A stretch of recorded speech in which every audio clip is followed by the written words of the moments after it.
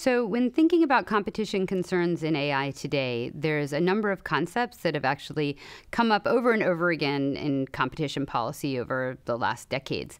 Um, one is scale economies. That's just bigger is better. Um, scale economies can arise because there's fixed costs, and you know the, the more you make, the lower your average cost, and you need to overcome those fixed costs to enter. Um, it can also be learning by doing, either on the cost side or the quality side. Um, and generally, scale economies can be a barrier to entry and thus important for competition. Um, network effects are a special type of scale economy that occur when you know the more people that use a product, the better it is for any individual using it. So, like communication networks. Network effects can also be um, indirect, where in a marketplace or a platform, buyers want sellers, and more sellers want more buyers. So those types of network effects um, also come up a lot in technology products and in software products. Now, all of those things can matter um, when we think about um, competition and how it works. So, in a standard textbook model of competition, uh, firms can only do one thing that is set their price. Maybe they can do two things, they can change their quality too.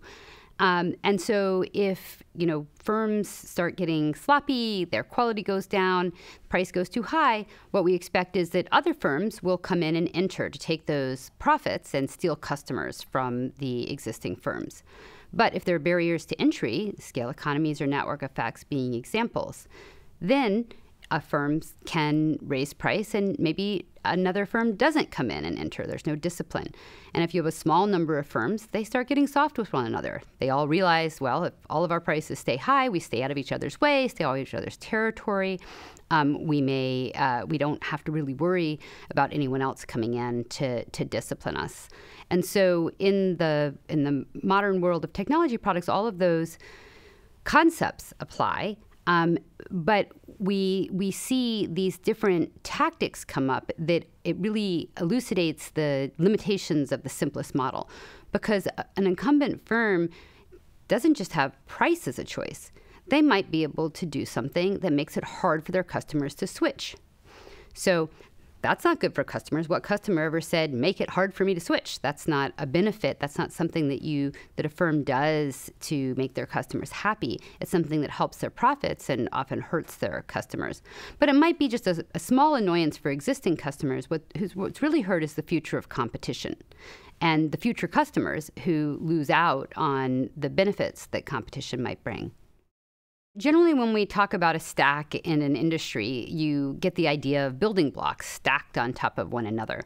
So, in the AI industry, if you tried to think about it from top to bottom, um, you might think about at the bottom being like chips and hardware, the compute. Um, layered on top of that is software. Um, as if, if a company is building a foundation model, a large language model, for example, um, they would use those chips and that software and also data as inputs uh, to the training, and energy uh, would be other other elements. Um, if we think about the industry more broadly, beyond the the sort of basic foundation models, which are basically in today the ones you're most familiar with their language, where they're trying to kind of embody knowledge and understanding of human language in a general purpose model, then people would, might build applications on top of that. Okay, what do you need to do to build an application? Well, you need to either have access to a, a, model, like a closed model through an API, and you need to have a that that needs to be available on some kind of computing service for you to access. Um, you might also need uh, another alternative would be an open model, uh, an open weight model, where what you can do is download the weights together with um, some openly available software that allows you to uh, to kind of find what's called fine tune, or you, in other ways adapt it for your purposes as a as an application developer. Now, the application developer also needs compute um, not as much compute as what's needed to train the foundation models. They, um, but they also need compute to to adapt the model if they choose.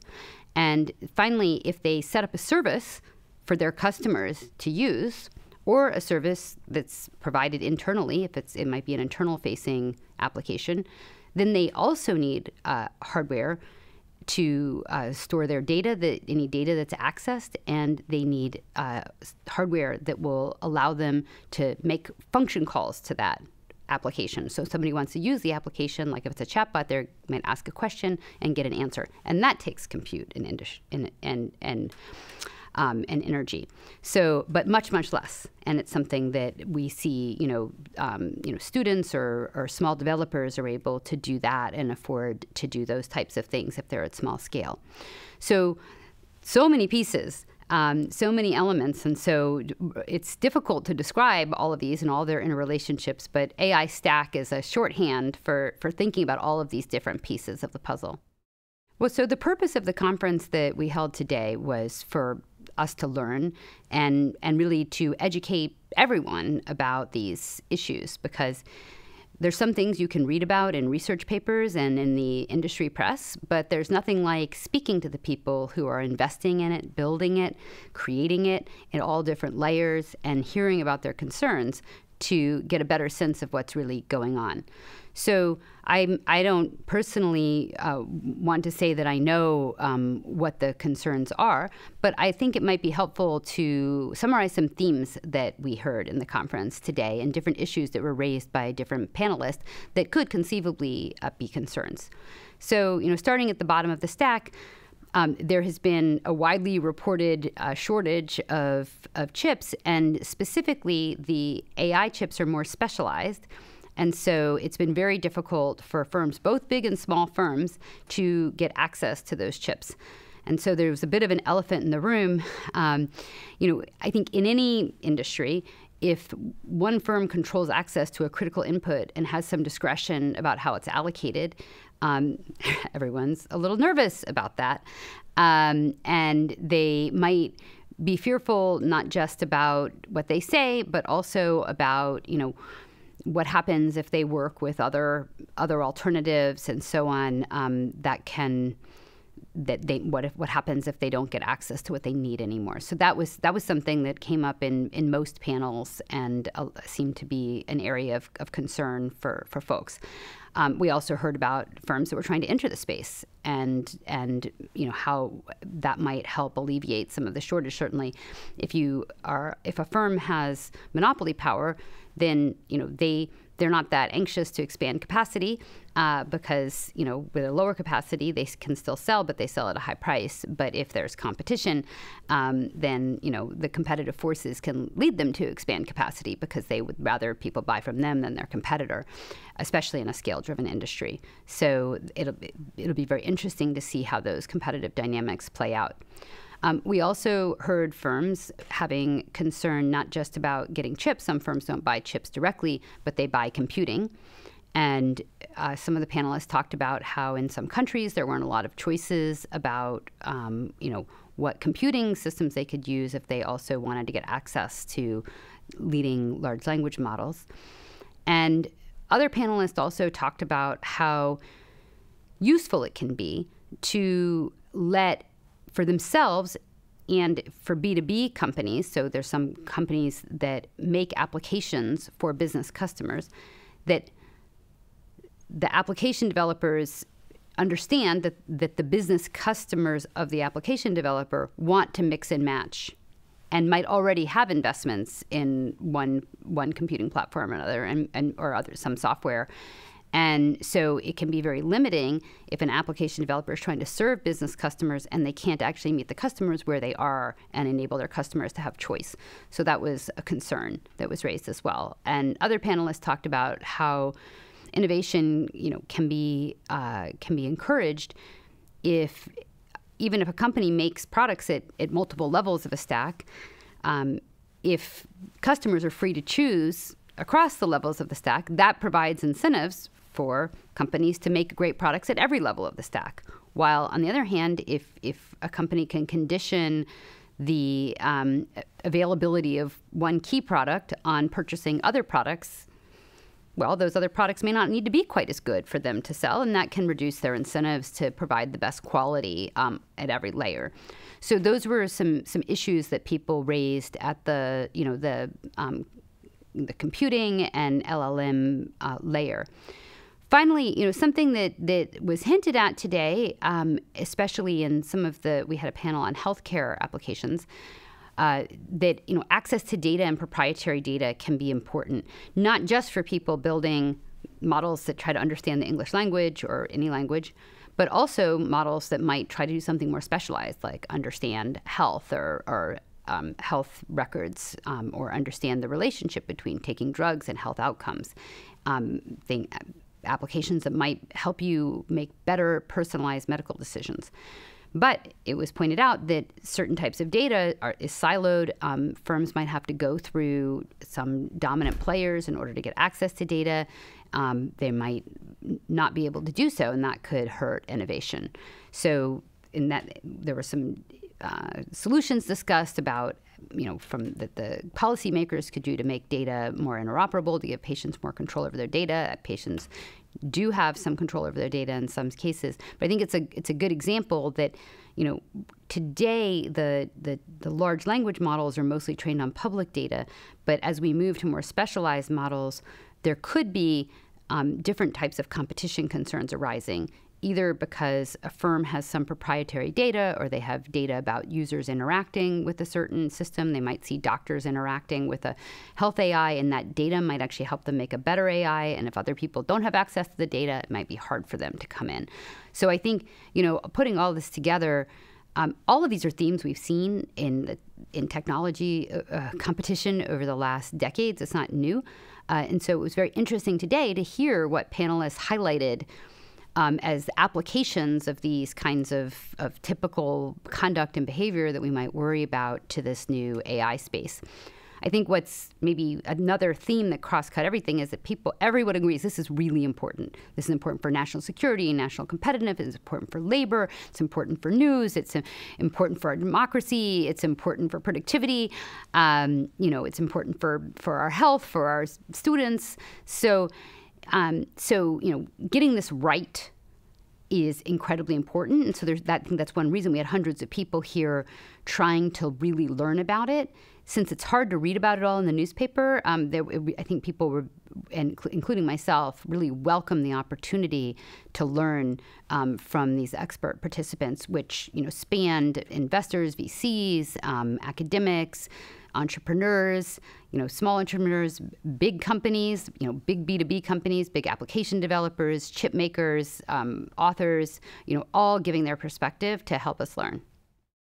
So, especially in situations where there's some kind of scale economy or network effect, um, entry can be pretty difficult because, say, an incumbent has like all the users are using its system or all the users are using its software and then those users make complementary investments and get kind of locked in to, to that system and then someone new comes along but it doesn't have the users it doesn't have the data it doesn't have the learning by doing um, and therefore and so it's very hard for it to get traction. Um, a customer of course, customers realize they do better with two suppliers than one. Um, customers don't like to have to deal with monopolists, but no individual customer, you know, is willing to sacrifice in order to make sure that there is competition. It's sort of a collective good.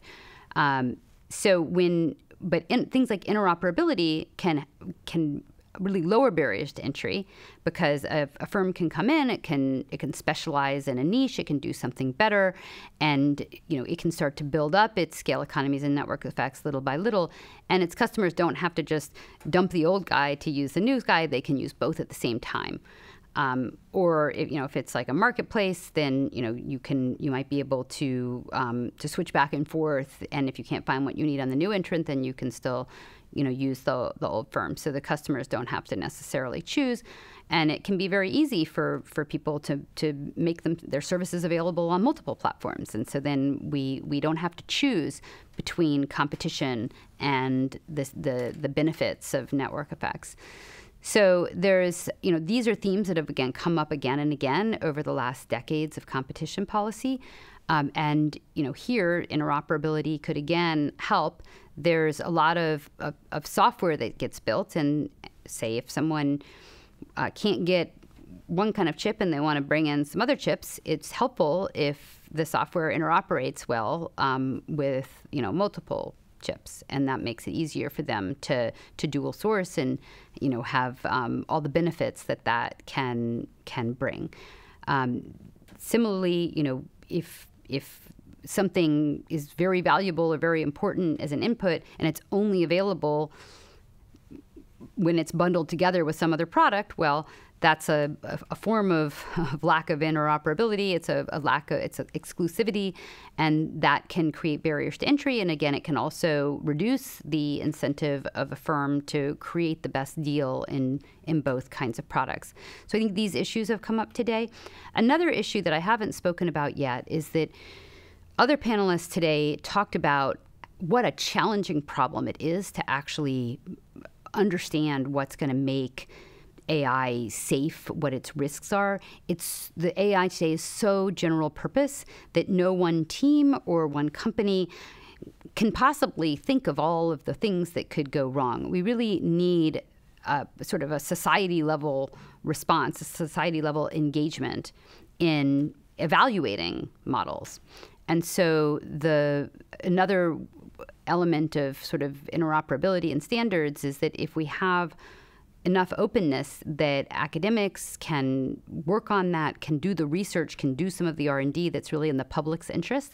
You know, the academics are can be very motivated to to uncover problems and they can look at the problems from all sorts of different angles.